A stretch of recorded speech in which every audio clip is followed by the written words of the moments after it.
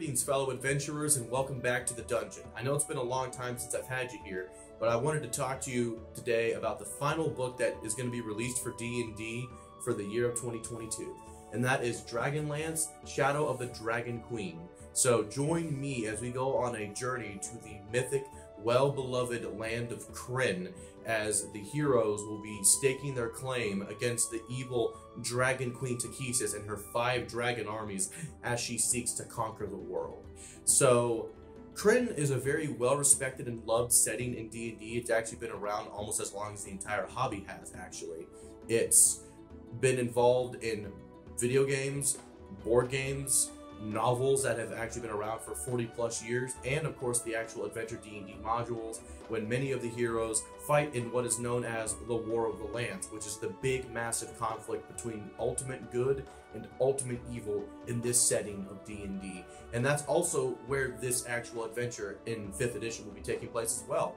The heroes will be going on a 1st through 11th level adventure where they will start out in the province of Solamnia as one of the Dragon Queen's dragon armies comes in to seize and claim the land, and it is their job to stop them, protect the people, and bring the fight back to that dragon army to stop the Dragon Queen Takhisis from gaining a valuable resource that will result in her victory, while having to contend with Draconians, fallen knights of, the, of Solamnia, and of course, the big bad guy himself, Lord Soth. You heard it here, folks. Soth is going to be back in this one, and you should be scared out of your minds to have Soth back.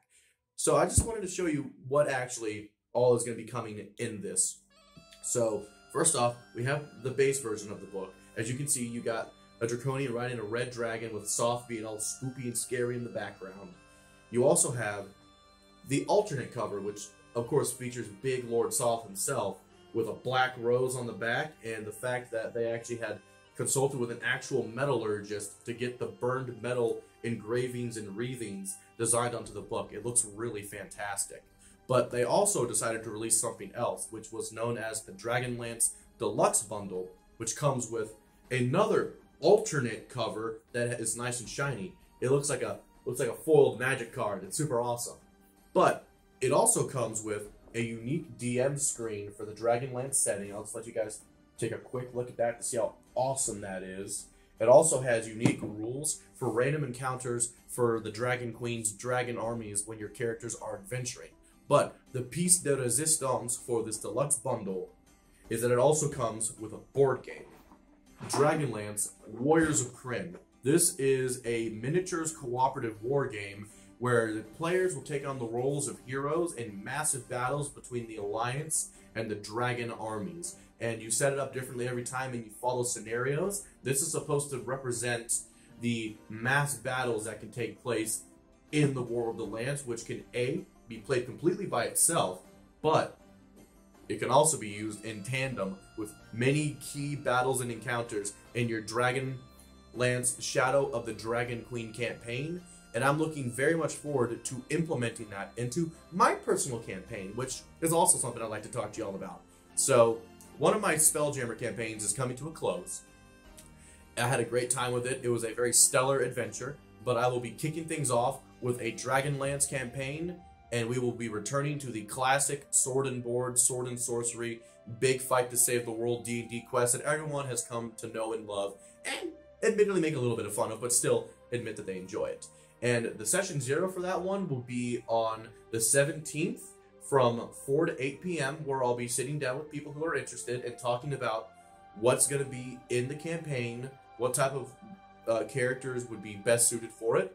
And then the first actual adventure will be on New Year's Eve from 6 to midnight as we roll in the new year with Dungeons and Dragons. But every session after that is going to be from 4 to 8 every other Saturday and it's 20 bucks to play. So I wanted to talk to y'all today about this new product that I have already read through. I'm super excited to actually have out and just I'm really looking forward to playing with it because it comes with a lot of awesome stuff.